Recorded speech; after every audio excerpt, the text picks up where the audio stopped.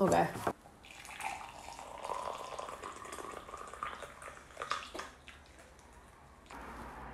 No sugar, just just lemon. Oh, oh, oh. I moved out, and I feel good about it. Hey, it's your girl Dinela, and today I'm going to be talking about book recommendations for you guys. And this is something that I get a lot. I know I sound like a regular ass influencer right now. I've been getting a lot of questions on how to do my how I do my eyebrows. well, I've been getting a lot of questions about what kind of books I I have in my recommendation list for you guys. And the topic is a bit mm, broad. Okay? Why? Actually boils down to a very simple thing.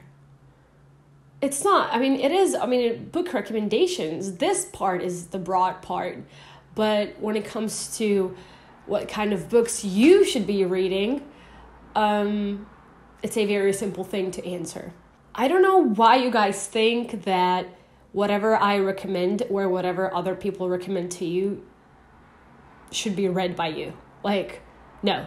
It's a big ass no. One of the biggest reasons why you should not be reading everything other people read is because not everyone is the same just because my mom loves comedy movies doesn't mean I love them, okay? I mean, comedy movies are great, but I'm all into action, okay? Real badass action.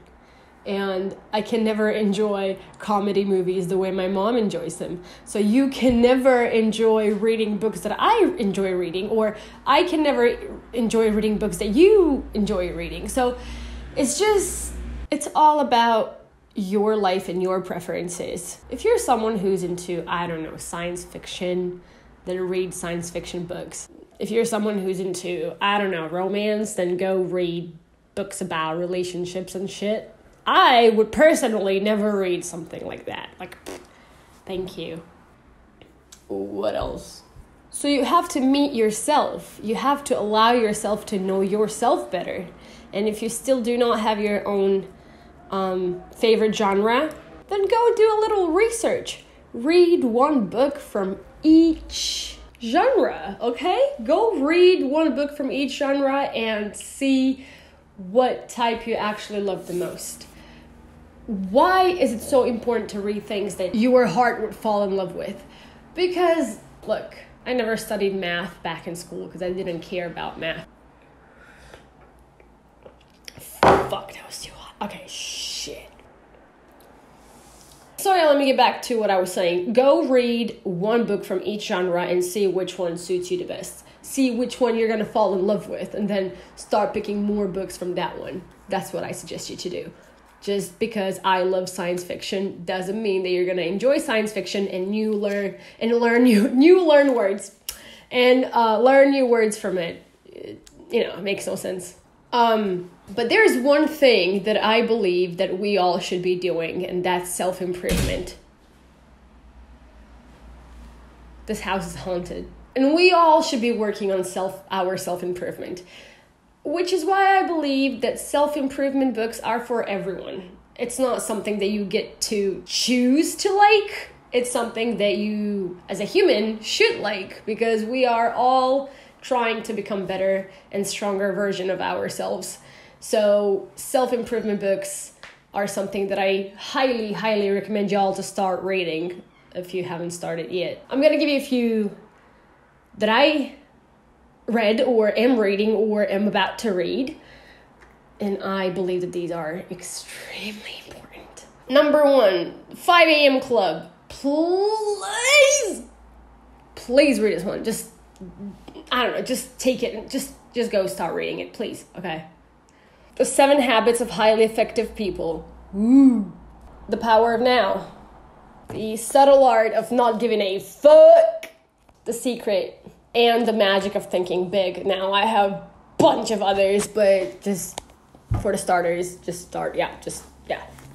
And sorry, sorry, one more left. Jim Carrey. We all know who Jim Carrey is. That guy. I just he's he's he got so spiritual, he got so woke that he's changing my life and I, I love him. I love him. memoirs and misinformation is something that you definitely should read. There you go. I hope that you find this video useful and I hope that you get a bit more open minded when it comes to learning. You guys, just because people are entitled to tell you what to do doesn't mean that it's the right thing for you to do. So if people are pushing certain books on you, like, oh, read this one, read that one, and you don't like that kind of a genre, then just don't do it. Do things that make you happy because when your brain falls in love with what you're doing, your brain starts learning 10 times faster. So make sure that you read shit that you love, okay? That's it for today. I'm so sorry I've been away for some time. I'm as I said I moved out. This is my new old place. Actually, I grew up in this house, but me, we moved out like 6 7 years ago and the house stayed empty and now I'm back to it with Bidon, and we're we're having fun working, and our office is super close, like a, a five minute walk from here. Um, it's great, life's great, because we're making it great. We're working on it. We're trying to make it great. Ah. And when you do something about it, shit just gets better. That's it. Anyway, thank you so much. I hope to see you in the next video. Have a great day. Hello, hope you enjoyed this video. I hope you find books that you enjoy reading. And yo, if you already have them, can you please do me a favor and put them down in the comment section? Give me, I don't know, three to five awesomest books that you've ever read, okay? So we can share your tips and advice with other people when it comes to this. Okay, so go put them down in the comment section, and I'm gonna tell you if I read them too or not.